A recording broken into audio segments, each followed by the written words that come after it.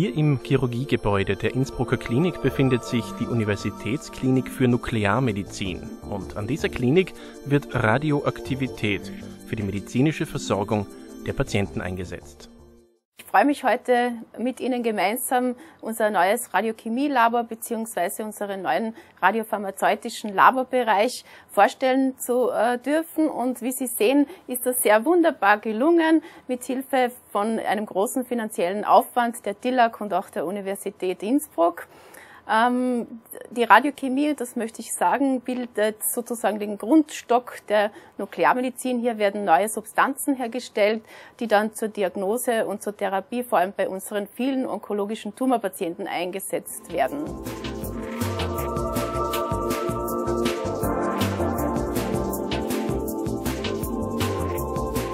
In diesem neuen und hochmodernen radiopharmazeutischen Laborbereich werden die ganz speziellen radioaktiven Arzneimittel hergestellt. Die Herstellung radioaktiv markierter Verbindungen, sogenannte Radiopharmaka, steht am Beginn der Patientenversorgung durch die Nuklearmedizin. Dabei werden Radionuklide verwendet, die eine extrem kurze Halbwertszeit aufweisen, von einigen Tagen bis zu äh, wenigen Minuten, was eine Herstellung vor Ort notwendig macht. Zu diesem Zweck wurde der neue radiopharmazeutische Laborbereich errichtet, wobei im Vordergrund äh, der Strahlenschutz für das Personal als auch die Sicherheit des Patienten äh, äh, und damit die Qualität des äh, verwendeten Radiopharmakons steht. Dies wurde erreicht durch spezielle Einrichtungen äh, wie ein spezielles aufwendiges Lüftungskonzept, eigene Monitoring-Systeme, äh, Abschirmungen in den Wänden und in Einrichtungen, sowie äh, spezielle Vorgaben für das Personal, wie es sich zu verhalten hat.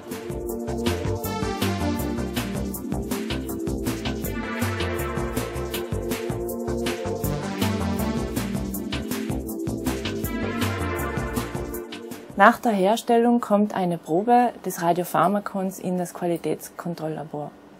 Hier wird bewertet, ob das Radiopharmakon gewisse vordefinierte Eigenschaften erfüllt. Zu diesen Eigenschaften zählen zum einen pharmazeutische Parameter wie der pH-Wert und die Sterilität, aber auch spezifische radiopharmazeutische Parameter wie die Radionuklididentität und die radiopharmazeutische Reinheit. Erst wenn die Qualität des Radiopharmakons sichergestellt ist, erfolgt die Freigabe durch die sachkundige Person und die weitere Verwendung am Patienten. In der Innsbrucker Uniklinik für Nuklearmedizin werden aber nicht nur bekannte Methoden verwendet. Es werden auch neue Substanzen für die Anwendung in der Nuklearmedizin entwickelt. Auch die Wirksamkeit dieser neuen Stoffe kann hier im Labor getestet werden. So wird zum Beispiel mittels Zellkulturen überprüft, ob sich eine radioaktiv markierte Substanz an die Krebszelle bindet, um diese sichtbar zu machen oder abtöten zu können. Die in der Nuklearmedizin verwendeten Radiopharmaka bestehen aus Biomolekülen, die mit für die Diagnostik und Therapie notwendigen radioaktiven Isotope verknüpft werden. In dem Reinraumbereich äh, werden diese Biomoleküle mit dem entsprechenden Radioisotope chemisch verknüpft. Für die Synthesen ein wesentlicher Aspekt ist der Strahlenschutz. Deshalb laufen diese Synthesen in äh, fernbedienten Automaten ab, die in bleiabgeschirmten Isolatoren befindlich sind, den sogenannten heißen Zellen. Die hauptsächlichen Arbeitsprozesse sind dabei das Einschleusen der Materialien und äh, Reagenzien, dann das Vorbereiten des Synthesemoduls, anschließend wird die fernbediente Synthese durchgeführt und anschließend werden die Radiopharmaka ausgeschlossen. Wenn mit radioaktiven Stoffen gearbeitet wird, dann muss der Strahlenschutz einen besonderen Stellenwert einnehmen. Neben der Sicherheit der Patienten hat auch die Sicherheit der Mitarbeiter oberste Priorität.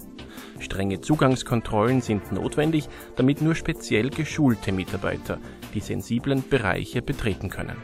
Bei der Herstellung im neuen Reinraumbereich werden sogenannte Biomoleküle mit Radionukliden chemisch verknüpft das spezielle Lüftungssystem sorgt dabei dafür, dass keine Keime in das Labor eindringen und dass keine Strahlung den Bereich verlassen kann. Diese Analysen für die Qualitätskontrolle müssen oft sehr schnell erfolgen. Dank modernster Geräte kann diese Qualitätsbestimmung innerhalb weniger Minuten durchgeführt werden.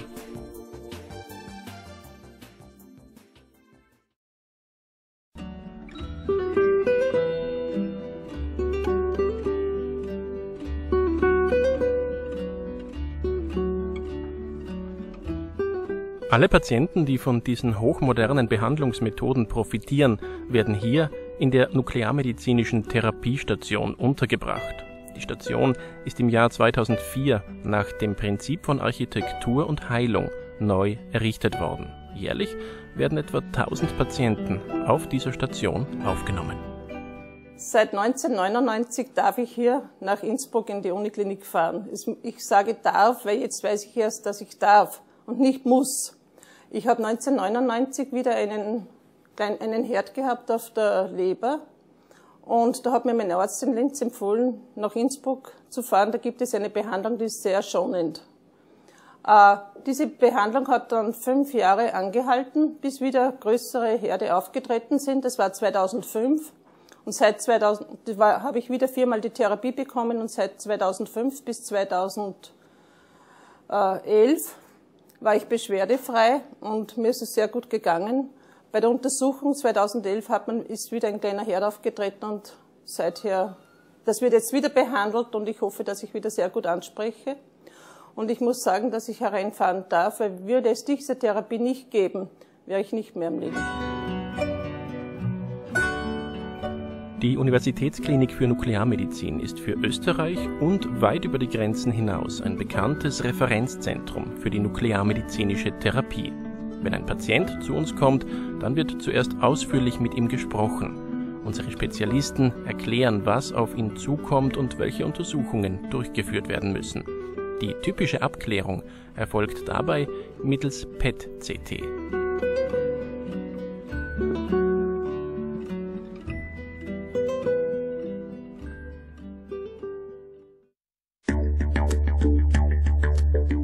Jährlich werden im PET-Zentrum rund 2500 PET-Untersuchungen durchgeführt. Wir sind bemüht, die Untersuchungen für unsere Patienten möglichst schonend zu gestalten.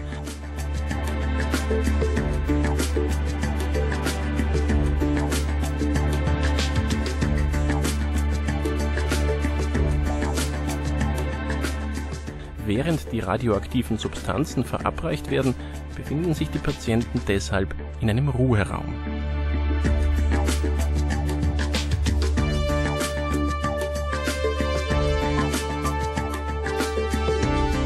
Innsbrucker Universitätsklinik für Nuklearmedizin ist für die Behandlung von Patienten mit sogenannten neuroendokrinen Tumoren weltbekannt. Nachdem mittels PET-CT der Tumor nachgewiesen wurde, erfolgt die Berechnung der Dosis für die Behandlung. Wichtig ist dabei, genau Nutzen und Risiko für die gesunden Organe abzuwägen. Die PET-CT ist eine sehr moderne Untersuchungsmethode, mit deren Hilfe es gelingt, Tumordiagnostik auf modernstem Stand zu machen. Äh, die PET-CT ist eine Kombinationsuntersuchung. Es ist einerseits die klassische viel verwendete Computertomographie, andererseits die modernere Methode, die PET-Technologie. In der PET werden radioaktive Substanzen eingesetzt. Diese radioaktiven Substanzen reichern sich sehr, sehr zielgerichtet im Bereich von Tumorzellen, im Bereich von Tumoren und deren Metastasen an. Mithilfe dieser Information der radioaktiven Substanz äh, gelingt es, Tumorzellen Tumore, Metastasen im Körper wie mit einem Leuchtstift in der Computertomographie zu markieren und zu erkennen und so für eine zielgerichtete Therapie zugänglich zu machen. Die Nuklearmedizin behandelt ihre Patienten mit radioaktiven Therapeutika. Diese radioaktiven Stoffe senden auch Gammastrahlung aus. Diese Gammastrahlung nützen wir zur Bildgebung.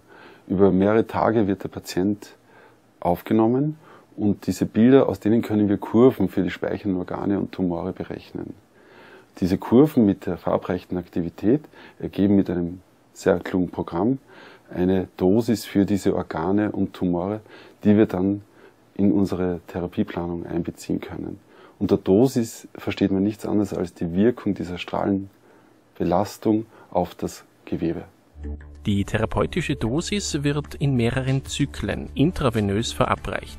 Der Patient wird dazu an der nuklearmedizinischen Therapiestation stationär aufgenommen, bis die Radioaktivität im Patienten unter die gesetzlich vorgeschriebene Höchstgrenze fällt. Wie schon bei der Herstellung hat auch hier bei der Verabreichung der Personenschutz für Patient und Personal höchste Priorität. Das bedeutet aufwendige Überwachung bis hin zum Abfallsystem.